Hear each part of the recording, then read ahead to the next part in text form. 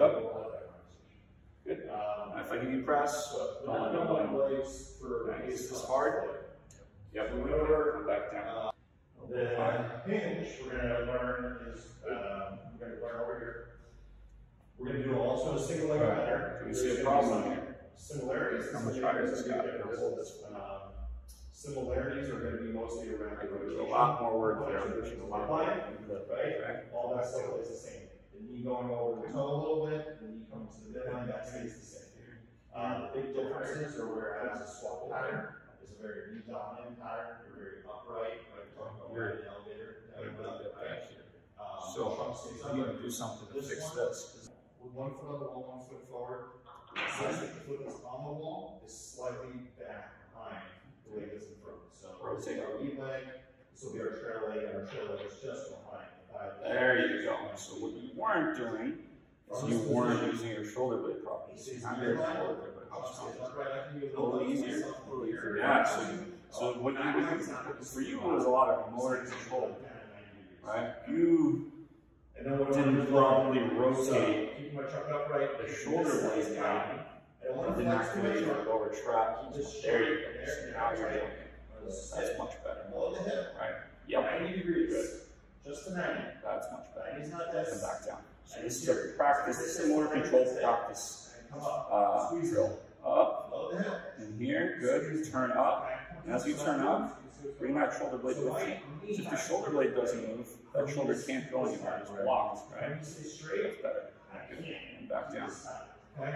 So I give away. So I'm not actively bending it. Yeah, you can take reps in between where you kind of practice bringing it in, Packing it down, rotating it up, and letting that shoulder blade follow. Good. Keep that up a little higher. You can see kind of moving. Right. Right. Good. Right. See Perfect.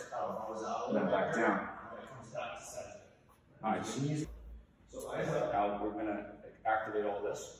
Okay. I'm gonna have you lift the elbow up off the bed. Just elbow. Just elbow. Good. So you want both. You want in. That's better stuff there. There you go. Good. And then go back down. Is that hard? So that's this is one way on working on inertia control, and you finding that position where your shoulder blade needs to be to make this easier for you.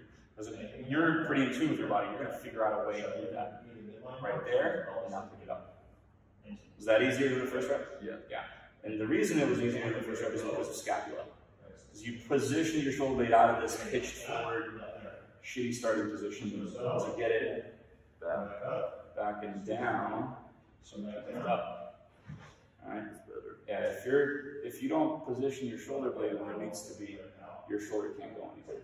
So shoulder stability and mobility comes from understanding on how to move your shoulder blade. If you can't move your shoulder blade properly, your shoulder's not going to move properly. So uh, now what I want you to do is I want you to just keep the elbow down, go here, bring this a little bit lower, and then just lift up the rest. And you never need to ask for a break. Whenever you want to just take an air on time.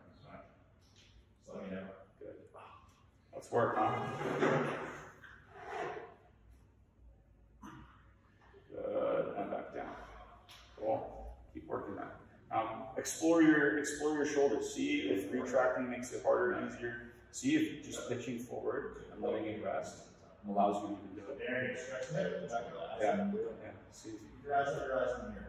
Keep your eyes on if you can get as far now. I can't really move my. Yeah. I can just Yeah. my wrist. basically. Yeah, you're just moving your wrist, you're not coming up, so you have to not let the shoulder blade blade just right. So this is a really good drill for you. There you go. Just work on that. Shoulder there. Understanding, right? Shoulder scapular uh, positioning and control. Going. Probably burning up over here. Yeah. Yeah, take a break.